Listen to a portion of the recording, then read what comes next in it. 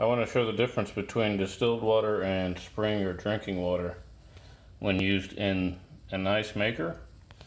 I uh, didn't have distilled water the other day, so I decided it couldn't hurt anything to use drinking water for a rotation. And what you can see is um, these ice cubes are stuck together. For example, this is one big clump here, and the consistency it shatters. See that? I can just squeeze these things. And this is the ice that comes after you use distilled water. As you can see, none of these ice cubes,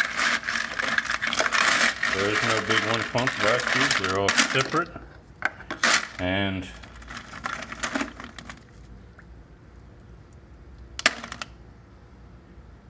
I, am squeezing as hard as I can right there. They are not crumbly at all. So uh, it makes a difference.